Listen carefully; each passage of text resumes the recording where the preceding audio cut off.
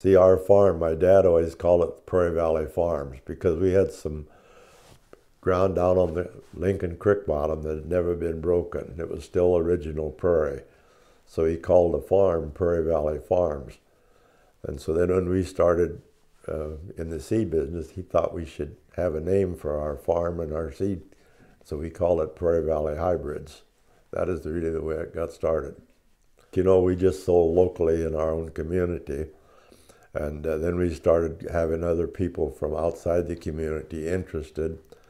And one of the things we did, we always had a little ad in the Nebraska Farmer. It was only about a two by two ad, and it had dealers wanted. And we just ran that continuously. It didn't cost hardly anything to do it. And through that, we kept picking up dealers around the state.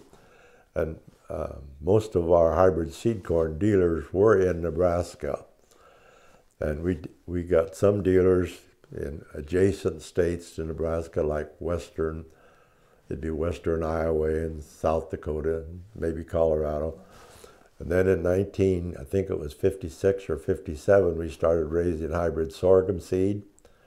And so we went to the Kansas State Fair with our sorghum seed because Kansas was a pretty big sorghum state. And we ended up being, I would say, kind of a regional company with most of our business in Nebraska and Kansas.